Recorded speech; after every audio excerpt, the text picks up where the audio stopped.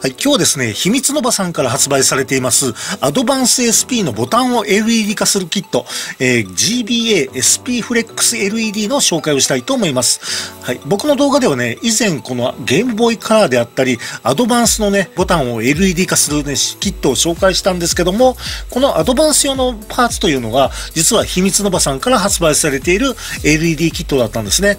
ということで、えー、今回このアドバンス SP なんですけど、前回紹介したね、ね、えアドバンスと比べて何が違うのかということをね、簡単に紹介しますと、以前はね、まあ、ハンダ付けだけでね、できたんですけども、今回は、まあ、工具があればね、え数分で終わるんですけども、シェルの加工が必要になってきます。そしてもう一つ、今回ね、実装できないゲームボーイアドバンス SP があります。えー、今回僕もね、取り付けようとしたアドバンス SP の本体が対応してなくて、別の本体をね、ちょっと準備するという、えー、事態に陥ってしまいました。そしてね、最後にね、ボタンをね、簡単に色変更するいろいろな実験をちょっとやってみたので、紹介したいと思います。はい、それではね、え封を開けてみたいと思います。で、こちら購入はですね、アドバンス用は Amazon でも売っているんですけども、この SP 用はね、オフィシャルのホームページでしか扱っていないようです。まあ、ゆくゆくはね、いろんなところで売られると思うんですけども、編集時点ではね、えー、オフィシャルのホームページでしか扱っていませんでした。カラーバリエーションはね、非常にたくさんありますのでね、えー、自分のね、好きなバリエーションをね、見つけて購入してみてください。ということで、僕が購入したのはね、GC カラーっていうのかな？ゲームキューブカラーを購入してみました。ということで、内容はね、えー、このように、黒いフレックス基板が2つと、えー、接続で使う短いケーブルが2本入っています。で、こちらがね、準備するのは、まあ、ハンダゴテとかね、えー、フラックスとか、そういったものを事前に準備しておく必要があります。はい、そしてね、えこちらが今回使うアドバンス SP の本体になります。もうね、IPS 液晶にしてあるんですけども、えー、後にね、あんな大きな問題が起こるとは、この時全く分かりませんでした。というか、オフィシャルのページにもね、全く何も書いてないので、えー、使えない本体があるとはまさか夢にも思いませんでしたが今回とりあえずこちらを使っていきたいと思いますはい。えー、Y 字ドライバーがね、いりますので、Y 字ドライバーを使ってね、この背面のネジを開けていきます。はい。そしてね、で電池ボックスの下にもね、ネジがありますので、しっかりと取り外します。はい、そうしますとね、えー、このね、下のケースが、えー、外れますので、こちらを外していきたいと思います。はい。でこれを外しますとまた中にね基板がありますので、はい、その基板にねまたネジが3つ、えー、ついていますのでねその3つのネジを、えー、取り外していきます。はい、ネジがね非常に小さいですのでね、えー、なくさないようにしてください。はい、でねこの3つのネジを外すと基板が、えこのように外れます。もうね、IPS にしてあるのでね、配線がね、ハンダ付けしてありますね。でね、あのね、2枚のフレックス基板、どこにつけるかと言いますと、あのね、こちらのね、はい、えーとね、ボタンのあるとこにつけるんですけども、小さい方のね、え基板はこちらの下側のね、スタートセレクト。そして大きい方の基板はこちらのね、上側の十字ボタンと AB ボタンのところに、えー、このように仮付けします。はい。で、赤丸で囲った部分にね、ハンダ付けしますので、予備ハンダしておきます。で、右上の方のね、赤丸は、えっ、ー、とね、本体側の方にも、えー、予備ハンダをしておきます。はい。このように、えっ、ー、とね、ハンダをしておくことにより、取り付けやすくなります。はい、そしてね、このように取り付けるんですけども、後ろにね、え両面テープがね、ついていますので、まあ、こちらをね、剥がしてやります。はい、そしてね、それから同じ場所に取り付けておきます。はいで、このね、上側なんですけども、赤色のね、配線がちょっと邪魔になりますので、えー、まずね、ちょっと止めているカプトンテープ、こちらを外しまして、赤色のね、赤色の配線をね、ちょっとハンダで、えー、外しておきます。はい、そして先ほどの、えー、ね、えこの基板、後ろにね、両面テープが同じくついていますので、2箇所のね、両面テープを剥がします。そして、えー、このように取り付けます。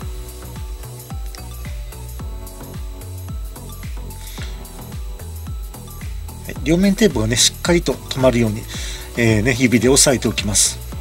はい、そしてね、先ほど外した、えー、赤い配線、同じ場所にもう一度ハンダしておきます。はい、そしてね、右上のところと、はい、右上にね、ちょっとハンダをしておきます。はい、そしてね、カプトンテープでね、もう一度この赤い配線を固定しておきます。はい、そして今度ね、短い配線、短いというかね、2本あった長めの方の配線をこちらのね、えー、場所にハンダ付けします。はい、そしてその片方を、はい、先ほどのね、小さな、えー、基板のね、方にハンダ付けします。はい、このようにハンダ付けします。で、下側のね、えー、基板をもう一箇所ね、ハンダ付けするんですけども、実はね、ここでちょっと大きな問題がありました。本来ね、本体の基板についていないといけない、えー、チップコンデンサがね、ついていないんですよね。はい。で、これがね、ちょっと、えー、説明書にはね、何も書いてなくてね、えー、本来は、えあるべきはずのチップコンデンサーがちょっとついていないんですよね。で、そことね、ハンダ付けするんですけども、で、比べてみました。え左がね、今回のね、で、この基板なんですけど、赤丸で囲った部分、赤丸で囲った部分に何もないですよね。で、右側が本来ね、えあるべきパーツなんですけども、右側の写真ではね、チップコンデンサがついてるんですが、今回使用した左側の基板では、このね、囲った部分にチップコンデンサがついていません。はい。多分ね、チップコンデンサがついていないというのは、基盤が新しいのかなと思いますね。はい、ということでね、えー、残念ながらちょっとできませんでしたので、別の、別のね、アドバンス SP をちょっと準備することにしました。ここまで来てね、まさかちょっとストップしてしまうとは思いませんでしたけども、仕方ないので、ちょっとね、何台かね、ある、えー、アドバンス SP の中からも同じね、えー、このスーパーファミコンカラーのね、同じタイプのアドバンス SP をね、えー、ちょっと分解することにしました。はい。ああ、もうね、まさかちょっとここで ストップすると はい。ということでね、もう同じようにね、分解して、えー、見ました。はい。こちらね、左と右と、右が、えー、断念したもの。で、左が、えー、今回分解したもの。ちゃんとね、えチップがついていますね。はい。ということで、部品をこちらにね、え移し替えたいと思います。はい。2台ね、このように並んでますけども、はい。右から左へね、部品を移し替えていきたいと思います。はい。で、このね、赤い線をもう一度ね、えー、ハンダ付けし直して、はい。そしてね、右上の部分も、もう一度ね、ハンダをやり直します。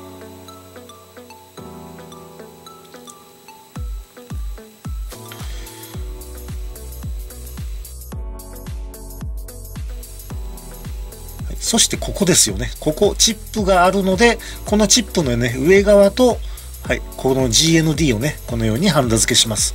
はい、これで無事にね ちょっとホッとしました。はい、そして、ここのね、右側に短い配線がついてましたよね。2本ついてた短い方の配線をこちらにハンダ付けします。そして基板をね、ちょっとくるっと反転させます。はい、ここでね、えー、はい、基板をくるっと反転させますと、このね、端子がね、4つほどありますけども、はい、こっち一番ね、左端の端子に、えー、先ほどのね、えー、配線をハンダ付けします。はい。はい、これでね、ハンダの作業は全て終了ということになります。はい。はい、無事にね、終わりました。それではね、早速ちょっとね、えっ、ー、と、蓋を閉じる前に、えー、チェックをしたいと思います。えっ、ー、とね、電池カバーを、ちょっとね、電池が乗せれるように、このようにね、で、仮付けしまして、ネジはね、止めませんけども、ちょっと簡易的にね、えこのようにバッテリーを乗せて、スイッチを入れてみたいと思います。はい、という感じでね、無事に点灯しましたのでね、ハンダは全く問題なく、成功ということになります。で、ね、次の作業なんですけども、最初に言ってましたように、シェルの加工が必要だというふうに言ってましたけども、どこを加工しないといけないかというと、このね、スピーカーのね、え取り付けてあった場所になるんですね。えー、スピーカーがね、ちょっと邪魔になりますので、このようにスピーカーを取り外します。はい。で、一体ね、どこの場所かと言いますと、今ピンセットでね、記している、このね、スピーカーの上部あたり、ここになります。今赤枠で囲った部分、ここのね、出っ張りを平らにする必要があります。はい。ということでね、えっ、ー、と、ボタンをね、ちょっと一応念のためにね、えー、この上部のボタンさんだけ外しておきます。はい。はい、このボタン、加工はね、先にやっても構いません。はい。という感じでね、こういった工具があればね、非常に簡単にできますので、このね、上部分の部分を、えー、削ってね、え平らにしていきます。はい。もうね、これね、工具があれば、もう本当1分かからずにできるような作業なんでね、はい。そんな難しい作業ではありません。はい、ということでね、えー、このように、えっ、ー、とね、ちょっとゴミをね、きれいにしつつ、はい、これでね、えー、先端の出っ張りをね、えー、除去できましたので、えー、早速ボタンをね、取り付けていきたいと思いますが、あとボタン、これね、えついていませんので、ボタンとゴムはね、自分で購入する必要があります。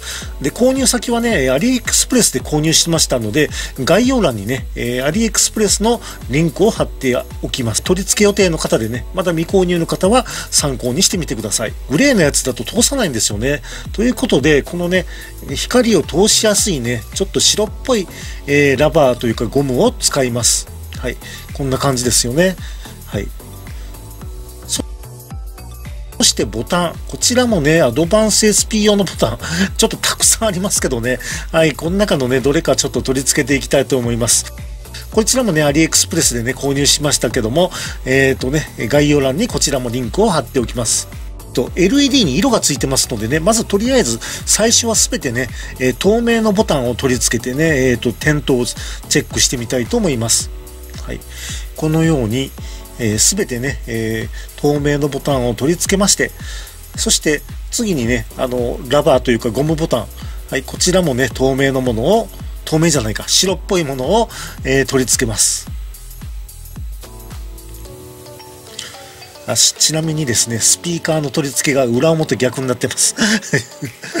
はい、今ね、ちょっともうボタンのチェックだけなのでね、スピーカーは後で直したいと思います。はい、ということでね、このように仮付けしましたら、蓋を閉めて仮付けでね、点灯チェックをしてみたいと思います。電源オンということで、はい、という感じでね、このようになりますね。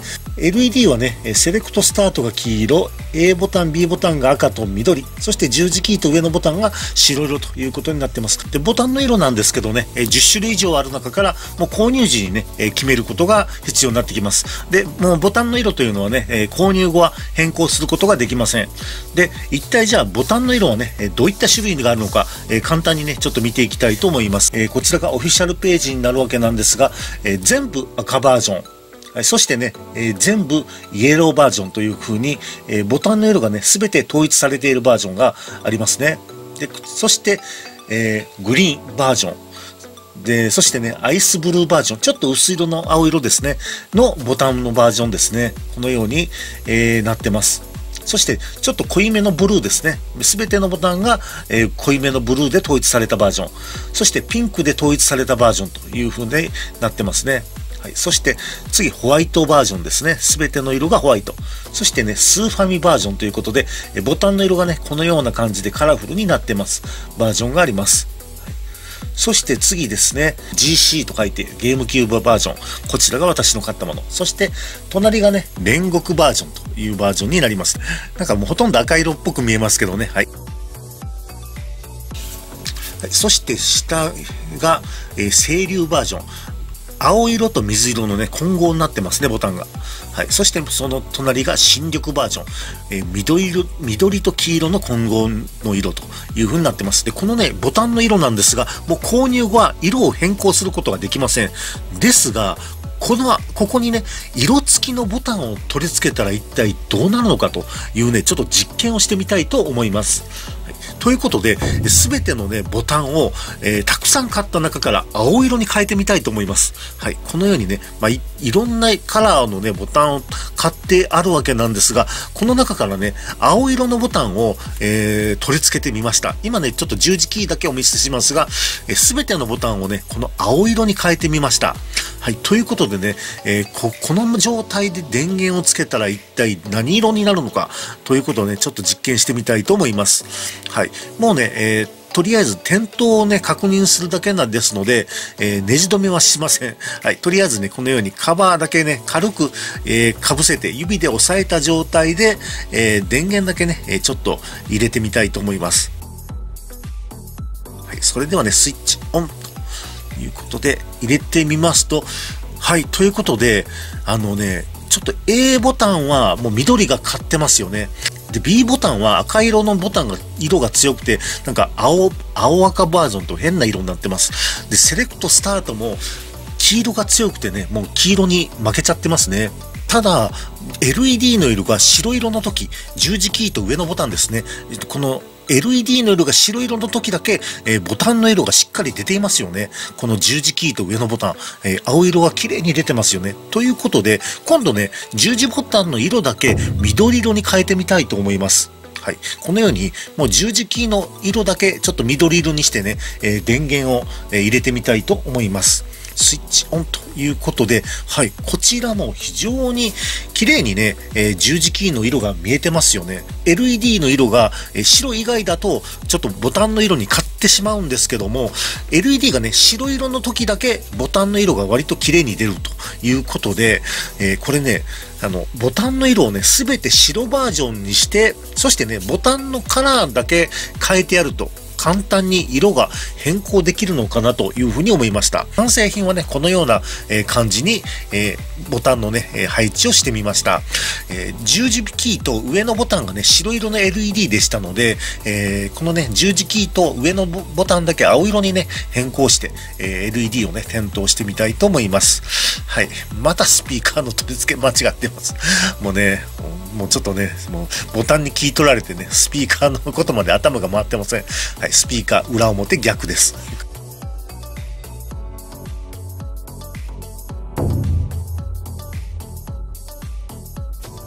はい。ということでね、えー、こちらが完成したバージョンになります。はい。ではね、えー、電源入れてみたいと思います。スイッチオンということで、はい。綺麗にね、光ってますね。はい。で、動画の途中ね、えー、本体のチップコンデンサがなくてね、えー、配線できなかった問題ですけども、あれ、あの、アースですのでね、多分アースはいろんな場所から取れますので、もし自分の本体がね、チップコンデンサがない場合は、ショップに電話してね、他の場所からどこからアースを取っていいかね、聞いてね、そこからアースを配線してやればね、えー、動くと思います。はい。ということでね、えーただ配線がね、1本まだちょっと追加しないといけないと思うんですけども、はい、えー、問題なくね、取り付けはできると思います。はい、ということでね、これ歴代の、えー、ボタンを LED にしたね、アドバンスのキット、そして、えー、もう一つね、あります。このゲームボーイカラーのね、ボタンを LED にしたやつをちょっと並べてみたいと思います。